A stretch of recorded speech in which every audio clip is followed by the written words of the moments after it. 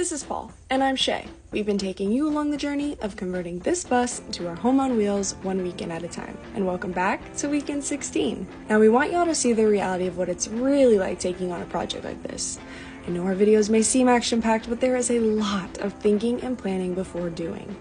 Now, we know we can't continue framing out the front until we remove the old broken AC unit, which is actually a reason why we got such a good price on this bus. And unlike a lot of things in demo, you can't just rip out an AC unit, you have to drain it first. But removing it was super rewarding because it was nasty. And now we have all the space to start framing, which of course Paul does such an amazing job with every time. It is so exciting to see our ideas coming to life.